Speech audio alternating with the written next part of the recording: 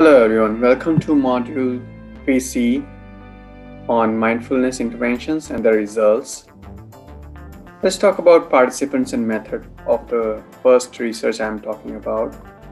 Uh, in that, an elementary school students from 5th grade ages 10 and 11 participated. This school was from a high performing, high socioeconomic status suburban school in northeast of the United States. Here, the program uh, design was based on mindfulness awareness practices and self-regulated learning.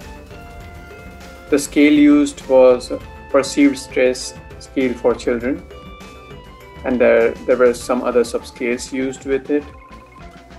And then there was another subscale used for test of everyday attention for children.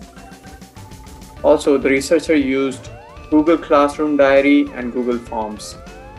As we learned in previous modules about self-regulated learning, it is important to understand the three cyclic phases and then uh, a participant to reflect back on what they are doing. So that's why it was designed in a way that students can fill up their classroom diary and uh, respond to surveys on the Google Forms. What was the goals of the study? Basically, the researcher wanted to study how the practice of impacts students' self-regulated learning state during the homework time. If it if continued use of self-regulated learning helps a student if uh, this kind of practices combining it with mindfulness does it help student reduce stress and uh, if a student practices mindfulness for a long period of time. Does it help student improve their attention span? So from the studies the results showed that the srl lessons and structured srl diary positively helps learning outcomes. However uh, this study wasn't able to establish benefits of SRL or mindfulness interventions, whereas the past studies have found some evidence to for both of them to help a student. The author mentions that at-home practice of mindfulness helps in cases where one sees positive results. So it's important for one to actually practice mindfulness outside of school compared to just practicing it within the classrooms. And past studies on the students in secondary school and colleges have shown positive relations between self-regulated learning and performance improvement. So let's talk about the second study, which is acceptance and commitment therapy.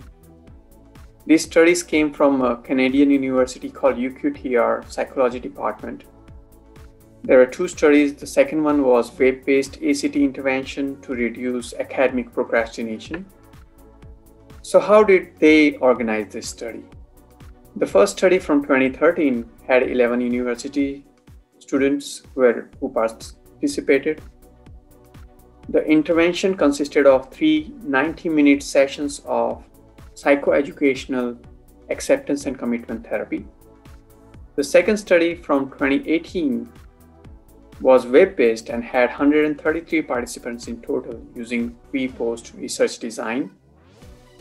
And the intervention was provided via a secure website spanning over nine weeks, asking participants to complete eight modules. So what were the goals of these studies?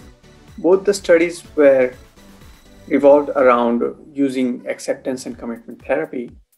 The first study was about building five core skills to reduce procrastination, which are being mindful of procrastinatory behavior, picking the right direction by clarifying your values, distancing oneself from negative thoughts, taking action, and accept discomforts related to academic tasks. The second study had different eight modules which evolved around similar principles this study targeted on educating participants on ineffective behaviors, picking directions according to values, identifying excuses that one may take while trying to postpone things, taking actions so that they stay on the right path to complete their tasks, willingness to face discomforts, and act on your environment using Pomodoro technique.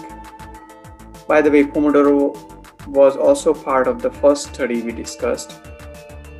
And diffuse from thoughts and be present in adversity. So, what are the results of these studies? Both the studies concluded that the studies are feasible and acceptable. And we found that making such interventions web based are more convenient for both students and researchers. You can see that there were more participants when they, do, when they did a web based version of this. And the intervention may be effective in reducing academic procrastination with a medium success size. So it did prove some positive correlation between passing through such acceptance and commitment therapy and being able to do well with your studies. Thank you very much for your time. Here are the citations from the papers. I hope you enjoy the presentation. Thank you.